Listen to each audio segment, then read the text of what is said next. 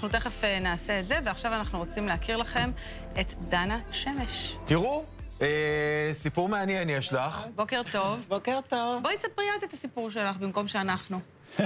קודם כל, תודה רבה שהזמנתם אותי לאולפן היפה שלכם. אני מתארת לעצמי שאנשים יושבים עכשיו בבית וצופים ואומרים, אי אפשר להתעלם מהמראה החיצוני שלך, את מאוד מאוד שרירית, מאוד שרירית. ספרי לנו מאיפה זה, וואו, תראי. שמקפצים, זה נראה... רגע, רגע, בואי נראה איך זה נראה אצלנו. בואי ננסה גם לא, בבקשה. אני כאילו לא רוצה להשוות, אבל... איך עושים את זה? את כאילו מושכת משהו מלמעלה. בבקשה. ופותחת לאט לאט את המרפקים לצדדים, פותחת את הגב. מקפצת חזק חזק את האגרוף. לא, תקשיבי, אה, רגע, שנייה, ליאון. השקעתי בזה זמן. רגע, אני רוצה להבין איך עושים, שכולם בבית ינסו.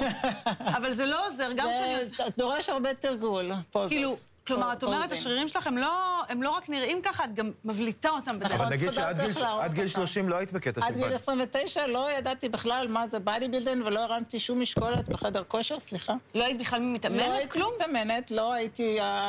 בילדותי הייתי עושה קצת כדורעף, או קצת אה, אה, שיעורי ספורט, ריקוד, אהבתי נורא לרקוד. שום דבר באופן שום מקצועי. דבר באופן מקצועי, לא ידעתי בכלל שקיים דבר כזה, תחום כזה, כי בארץ זה לא כל כך פופולרי. מותר לשאול בת כמה את היום? בהחלט, אני 48, עכשיו חגגתי. אז את כבר מיד אחרי התחרות שהתחרתי.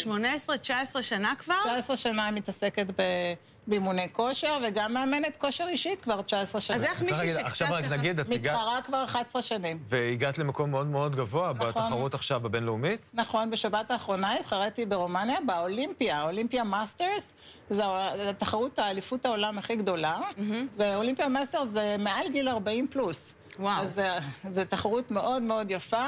מכל העולם באים הרבה ספורטאים, ואני הראשונה שייצגתי את ישראל. קודם כל כבוד. באולימפיה מאסטרס. אז אם? זה 40 פלוס, יכולתי גם להצטרף. רגע, אז רגע, אני אעשה את התרגיל. תגידי לי לאיזה מקום הייתי. מגיעה. תראי, איזה מקום זה, כן, שני או יש שלישי? פוטנציאל, יש לא. פוטנציאל, צריכות קצת לעבוד. לכולם יש פוטנציאל, אני מבינה. לכולם יש פוטנציאל. תסבירי. צריך אבל הרבה רצון ופוטנציאל, אה, כמובן גם קצת גנטיקה.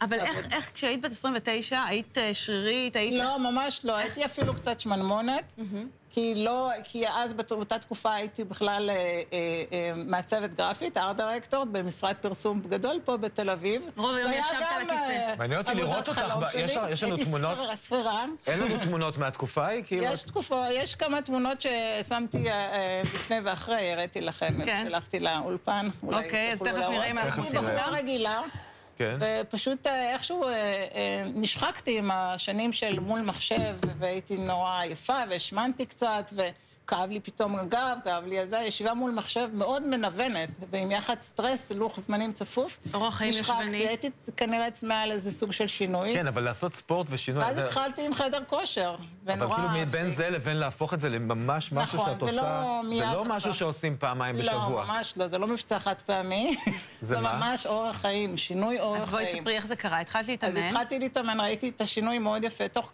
כמה שבועות כבר הגוף שלי השתנה, גם התחלתי לשמור, לא לאכול יותר מדי סוכר וכאלה, לשתות יותר מים, לאכול חלבונים, ירקות, וככה אה, התעצבתי קצת, הגוף התעצב.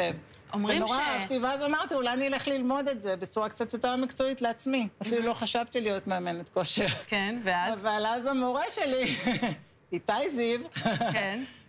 הגו- הגורו של כל המאמני כושר, אמר לי, חבל שאת לא תהיי מאמנת כושר, את יכולה להיות מאוד טובה, הוא האמין בי, ואני אמרתי, למה לא? אז ספרי לנו מעבר עשיתי ל- שינוי מקצוע גם. תראי, אנחנו רואים לפני אחרי מבחינת הפסקתי השרירים. לעשן גם, הפסקת לעשן. עשיתי הרבה דברים. אנחנו רואים את. השרירים לפני ואחרי, אבל תספרי לנו מה זה שינה בחיים שלך. מה, כאילו, זה בביטחון, באופן... שינה המון, קודם כל משמעת עצמית. המשמעת העצמית הרבה יותר טובה, היא השתפרה. אני עבדתי על עצמי כל הזמן, כי את צריכה לעשות דברים שלא תמיד בא לך, כדי למשל? להגיע ליעד שלך. למשל? למשל, לקום בבוקר ולעשות אאירובי, למשל, להקפיד לאכול ארוחות מסודרות. למשל, לעשות, ללכת לחדר כושר, שלא תמיד בא לך באותו אז זו יום מחויבות, ללכת. זה כאילו, ממש- זה משהו בראש. סוג של מתחייבות. אבל אני אשאל אותך, שינוי אה, מחשבה. רואים את זה מאוד, זה מאוד בולט, כן? גם- לי כשראיתי אותך, ידעתי שאת באה וראיתי אותך, וזה כאילו... זה מאוד מרשים וגם מאוד תודה שונה. כן, זה את שונה. מקבלת הרבה תגובות? כי הרי קשה כן, להסתיר הרבה את ה... תגובות לטוב ולרע. יש כאלה שדווקא מעריצים, ויש כאלה שנרתעים ואפילו מעבירים ביקורת, בעיקר פה בחברה הישראלית. תקשיבו, קשה לקבל בואו את זה. בוא נעשה עוד תגובות. אבל כי בארצות הברית כן תגובות זה. אומר שאנחנו משנים לאנשים את המחשבה. אז את- אז בואי נלך לשם, ובואי לנו ככה את כל הזה, איך עושים את זה בתחרות? את יכולה. להראות לנו? בואי. כן, את בהחלט. גם את רוצה? כן, אני רוצה. ברור, מה, למה אנחנו יושבים? הרי אמרנו ש... נכון? כן, אמרנו שלא. יושבים. כי... כי בבקשה. אין, אה, יש לה- אין מיק- יש מיקרופון. בואי לפה. כן? אני, עכשיו, אני אני רק עומדת בצד כצופה. לא רוצה בבקשה. יש לנו את הפוזה הזאת, מה זה? זה front back, מהמם. ככה עושים בתחרות. כן, אנחנו מדגימים, גם מדגישים את הרגליים וגם זה, יש לנו front double biceps, שפותחים. מוזמנים זה לכתוב דורש הרבה מאמץ לעשות זה את דורש זה. מאמץ, זה דורש הרבה זה. מאמץ, את לא יכולה יושבת לדבר. פה דל דיאמנט ורואה אותך.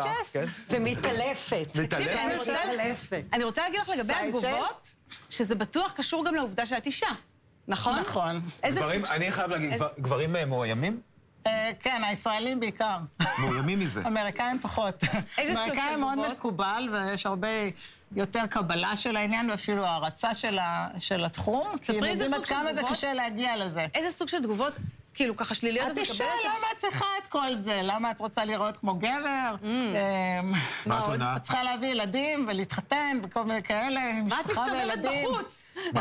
מה את עונה- על זה? לאן את רוצה להגיע? אבל מה את עונה להם על זה? אז אני אומרת, רוצה להגיע לאולימפיה, לא לאן שאתה רוצה להגיע כנראה. אתה יודע מה היא עונה להם על זה? ומה בזה?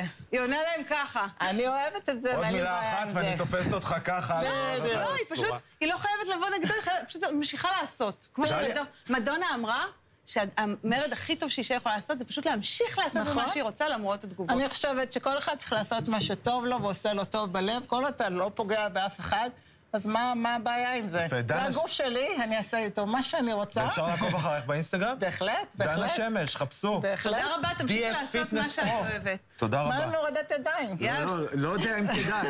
לא יודע אם כדאי. לא, לא, יש. פה נו, קדימה, קדימה. לא, תתחילו זה על לא- שולחן. אנחנו לא ברמה. רגע, הסדר, רגע. מוכנה? שלוש, שתיים, אחת, לא. את אפילו לא מבינה. לא, את חזקה אני. אפילו לא לא, לא, אנסה. אני לא... אני יכולה להרים אותך גם. לא, יש לי גם המרפק, כואב לי לאחרונה. בסדר. אני לא לא בנוי לזה. כרגע, אבל אני אתאמן, אני אחזור. הרצפה אליי. פה מאוד עקומה, רק שתדעי. דנה, תודה רבה. וואו. וואו. זה לא. משנה אם את גבר או את אישה, זה פשוט את עושה את מה שאת אוהבת. שכל יותר אנשים יעשו את מה שהם אוהבים.